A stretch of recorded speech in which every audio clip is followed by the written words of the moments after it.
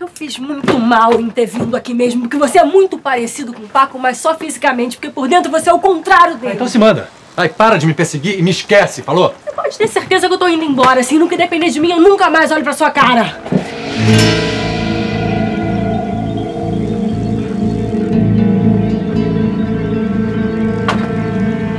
Atrapalhando alguma coisa? Não. A letra já tava de sair. É, eu já tô indo. É por que não terminou de falar o que você começou? Minha presença tá te constrangendo? Se você acha que eu vim aqui daí em cima do seu namorado... Ah, você veio aqui fazer o quê? Ué, deixa daí. Não. Deixa ela me responder. O que, é que você veio fazer aqui? Eu não sei. Mas eu sei. Você veio dar em cima dele sempre que ele é parecido com seu namorado.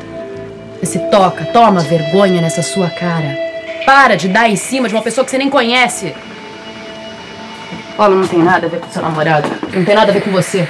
Eu sei, você tem toda a razão. Esse seu namorado aí não tem nada a ver com o Paco. Não tem nada a ver comigo. Eu vou repetir pra você a mesma coisa que eu disse pra ele antes de você entrar. Pode ficar descansada. Que no que depender de mim, vocês nunca mais vão me ver.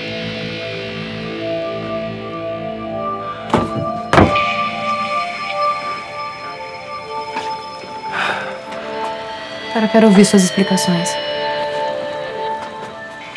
Você está dizendo na minha cara que eu sou um homem cruel? Está sendo. O senhor está cometendo uma crueldade inominável, uma perversidade. Estou querendo salvar o Raí. Não. O senhor está querendo pegar o Raí para o senhor.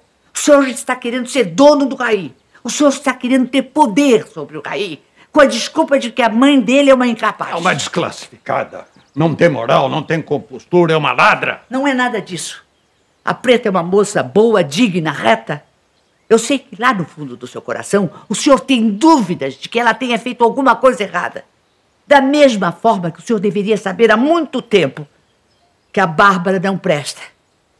Eu não acredito que o senhor esteja tão equivocado como parece estar. O senhor negou à Preta o benefício da dúvida. Embarcou na primeira chance de condená-la. E por quê? Porque queria o filho dela. Porque queria ficar com o Raí para o senhor. Germana, eu sempre respeitei muito a sua presença nessa casa e admirei até. Mas agora eu sou obrigado a lhe dizer: nesta casa, você não passa de uma empregada. Está claro? Eu não me esqueço um minuto sequer todos esses anos em que trabalho aqui. Mas eu não vou deixar de ser humana porque sou sua empregada. Não vou deixar de ser lúcida porque o senhor é meu patrão. Não vou perder o meu senso de justiça porque o senhor me paga um salário por mês. Eu também não vou admitir. Se o senhor não admite que eu diga o que penso e sinto, o senhor pode me demitir. Eu não vou me fingir de imbecil porque o senhor é meu patrão. Com licença, eu tenho muito o que fazer.